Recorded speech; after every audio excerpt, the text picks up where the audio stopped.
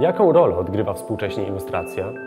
Czy polska ilustracja różni się od ilustracji międzynarodowej? A jeśli tak, to czym? Czy rzeczywiście mamy dziś piękniejsze książki niż w przeszłości?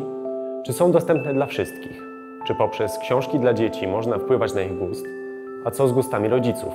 Jak wygląda polski rynek ilustracji z perspektywy wydawcy? Jak zmienił się przez ostatnią dekadę? O tych i innych problemach rozmawiać będą wydawczyni i ilustratorka Ewa Stiasny z wydawnictwa Dwie Siostry i Izabela Kaluta z Instytutu Książki.